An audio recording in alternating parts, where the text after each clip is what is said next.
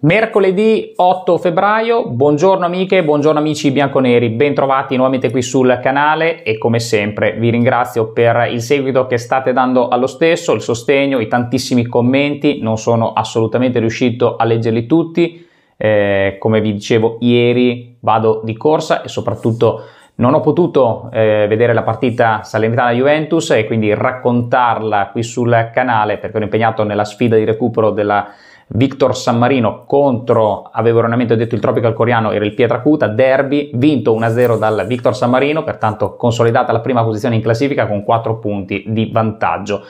verso eh, la promozione in Serie D. Speriamo bene, in bocca al lupo alla Victor San Marino, ma eh, commentiamo quella che è il, quello che è il contenuto del video di quest'oggi ehm, Santoriello sulle plusvalenze e sul bilancio. Prima però mi raccomando, continuate, se già non lo siete, a iscrivervi al mio canale YouTube, azionate la campanella notifica, mettete like al contenuto in fondo a questa puntata se sarà stata di vostro gradimento. Eh, prima di lanciare, farvi ascoltare, eh, diciamo, il secondo capitolo eh, del quale vi voglio parlare, sempre eh, stralcio di un contenuto estrapolato eh, da un convegno tenuto appunto dal eh, PM Ciro Santoriello. Eh, due parole veloci veloci sulla vittoria della Juventus eh, che risponde sul campo eh, alle situazioni esterne con una prestazione mi dicono eh, di ehm, assoluta efficacia è una prestazione che ha visto il ritorno al gol se non sbaglio dopo 115 go- giorni eh, di Dujan Vlaovic, uno su calcio di rigore e l'altro su azione, e gol di Filip Kostic. Una Juve che parla il serbo, una Juve però che eh, comincia a fare quei punti fondamentali per eh, allontanarsi quanto più possibile dalla zona retrocessione, quella zona retrocessione che potrebbe tornare a farsi pericolosamente eh, in vicina nel momento in cui andremo a sviluppare e a capire e a conoscere quello che è il secondo filone d'inchiesta relativo eh, al differimento degli stipendi, ma concentrandoci su ciò che invece è stato questa prima parte, eh, veniamo a breve al contenuto eh, che vi faccio ascoltare, ovviamente è uno stralcio, poi commentiamo sia le parole di Francesco Calvo sia eh, quelle appunto del PM Ciro Santoriello. Intanto la Juventus vince, sale a quota 26 punti in classifica ehm, e quindi in decima posizione comincia diciamo così la sua rincorsa dopo eh, la penalizzazione subita eh, dalla sentenza. Un punto con una partita gogliardica e interessante fatto con l'Atalanta, poi la sconfitta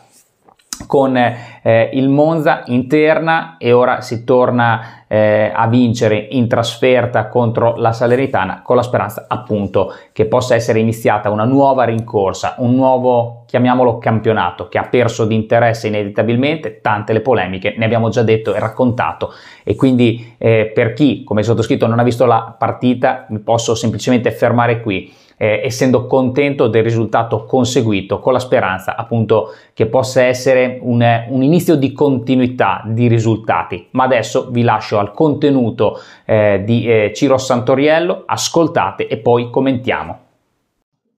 Le plusvalenze determinate dallo scambio di nella misura in cui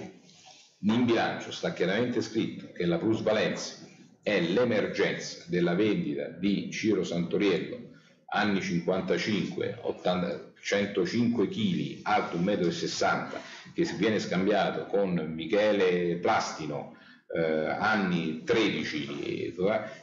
e, che, e quindi a tutte e due abbiamo attribuito un valore di 100 milioni, nella misura in cui ciò è chiaramente esternato in bilancio, eh, la circostanza che il bilancio non valga la carta su cui è scritto rende appunto il bilancio nullo, annullabile, quello che vi pare, ma non lo rende un bilancio falso, cioè nel senso di penalmente rilevante. La portata ingannatoria di queste circostanze è pari a zero. È un bilancio cui, di una società su cui non vale la pena investire, ovviamente, o da cui bisogna uscire immediatamente perché non è una società redditizia, ma non è assolutamente un eh, bilancio falso. Molto bene, eccoci nuovamente qui eh, insieme per commentare quello che è stato appunto il contenuto che ho eh, diciamo eh, montato insieme in questo, in questo video sulle parole, sulla relazione eh, tenuta dal PM accusatore appunto della Juventus. Ciro Santoriello nell'indagine Prisma, PM della Procura di Torino, ehm, che ha destato tantissimo scalpore con le sue dichiarazioni che vi ho eh, lanciato ieri e che insieme al video che ho condiviso eh, poc'anzi qui sul mio canale, per i quali ringrazio l'amico eh, Colpo Gobbo di avermeli forniti eh, perché mh, è grazie a lui se ho potuto dare un certo servizio e eh, montarli insieme ai miei contenuti. Commentando quelle che sono le sue considerazioni fatte sulle plusvalenze, beh, eh, che dire, considerato che la Juventus non è stata condannata, ci dicono, per le plusvalenze, mi resta sempre il dubbio, perché il sistema comunque che eh, viene contestato alla Juventus è sostanzialmente un sistema fatto di plusvalenze, pertanto ehm, che tu contabilizzi in una maniera piuttosto che in un'altra il valore di un calciatore, che peraltro lo abbiamo detto più volte, inutile tornarci sopra, è di difficile determinazione, lo dice lo stesso eh, PM nella relazione che vi ho appunto appena eh, fatto ascoltare. Eh, e per le quali mh, diciamo vanno ad inficiare un bilancio che eventualmente può essere un bilancio non sano di una società dalla quale è meglio eventualmente scappare. Ecco, però parla chiaramente di un bilancio che non è un bilancio falso o un bilancio falsato. E allora, ripeto, eh, siccome ci raccontano che la Juventus non è stata condannata per le plusvalenze, ma per il sistema messo insieme che avrebbe alterato il bilancio e quindi avrebbe modificato il bilancio e per questo la Juventus avrebbe subito una pena di eh, non 9 punti come chiesti dal procuratore, procuratore eh, federale della eh, FIGC eh, Giuseppe Chinè di 9 punti, bensì di 15 eh, punti per volere della Corte federale d'appello che appunto ha accettato la revoca del proscioglimento e ha condannato la Juventus a questi meno 15 punti di penalizzazione, ma il PM eh, che ha condotto la, accus- la fase accusatoria nei confronti della Juventus, eh, ci viene raccontato che eh, non trattasi sostanzialmente, nonostante si parli di plusvalenze, di un bilancio che e, e nello fattispecie lui riferisce, si riferisce eh, alla Juventus, sta tenendo un eh, convegno sulla eh, Juventus dove il tema eh, fon- principale, fondamentale era la Juventus, appunto non parla di un bilancio falsificato o di un bilancio eh, alterato in maniera eh, fasulla e quindi illecita da parte di chi lo ha redatto. Eh, voglio tra l'altro e quindi eh, fare questa considerazione, ma allora sostanzialmente eh, se il PM che conduce la fase accusatoria si esprime in questi termini, eh, come si è arrivati eh, invece a determinare sostanzialmente l'opposto, ovvero che c'è un sistema messo in piedi dalla Juventus e che quel bilancio eh, molto probabilmente è un bilancio falsato? E al tempo stesso, tornando un passo indietro alle parole che abbiamo ascoltato ieri nel video sempre del PM Ciro Santoriello dove si dichiara eh, come tifoso, tifoso del Napoli, come cittadino tifoso del Napoli, anzi tifosissimo del Napoli e come PM assolutamente anti-juventino e eh, eh, al quale è toccato in passato, in altra eh, circostanza, eh, archiviare il caso, è toccato archiviare il caso per evidentemente insussistenza di prove. Eh, sono frasi forti, lo abbiamo commentato ieri e torno a risottolineare. E appunto in quel caso è soltanto un PM, colui che conduce diciamo, la fase accusatoria, non è giudice.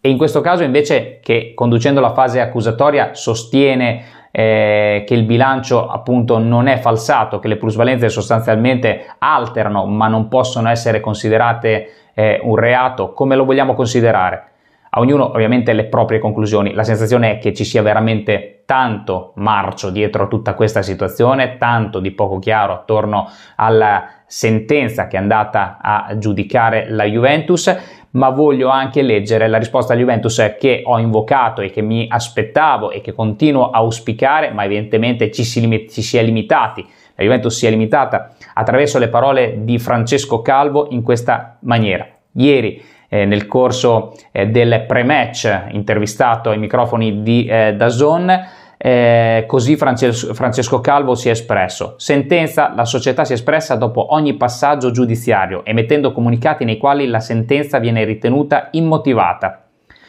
Continueremo a difenderci nelle sedi opportune e quindi evidentemente non si sceglierà di fare alcun tipo di comunicato pesante nei confronti delle dichiarazioni uscite da quel video del 2019 del PM Ciro Santoriello, eh, sul quale appunto Francesco Calvo interviene e dice a precisa domanda video di Santoriello? Permettetemi una riflessione. Alcune frasi estrapolate da certi contesti possono assumere valori diversi. Questo vale sia per la Juventus che per tutte le persone coinvolte nell'indagine. C'è però una cosa la Juventus dà rispetto e lo pretende indietro Molto bene, eh, credo che eh, questa sia la linea soft scelta dalla società, evidentemente che ha mandato davanti ai microfoni a parlare proprio anche di questa circostanza eh, Francesco Calvo, che si dichiara appunto ehm, in questa maniera molto leggera, eh, lascia eh, alla Juventus la possibilità di rispondere nelle sedi opportune eh, evidenzia come stralci di intercettazione, perché la leggo in questi termini la sua dichiarazione, la sua risposta, stralci di intercettazione vengono estrapolati e quindi decontestualizzati e possono assumere un significato diverso, al tempo stesso anche le frasi del PM eh, possono essere intese eh, in maniera diversa se estrapolate al contesto. Io credo che però ci sia un grande distinguo, lo ribadisco, eh, un'intercettazione telefonica che non può essere una prova, può eventualmente essere un indizio, ehm, avviene tra persone in separata sede, in privato. Le esternazioni di un pubblico ministero, di un magistrato, sono state fatte in un luogo consono all'esercizio della sua professione, e vanno assolutamente contro l'etica professionale. Sono due cose che hanno un peso completamente diverso, caro Francesco Calvo. E al tempo stesso l'uscita dell'intervista all'avvocato Chiappero, che parla in termini, eh, vorrei anche dire entusiastici, comunque molto positivi del PM eh, Ciro Santoriello, nonostante ciò che è uscito attraverso quel video, beh, mi fanno eh, venire alla mente cattivi pensieri perché la Juventus non può mandare a difendere eh, un popolo di 8-10 milioni di tifosi, difenderla, un popolo di 8-10 milioni di tifosi e pensare eh, che basti questo per uscire pulita o indenne da ciò che le sta capitando.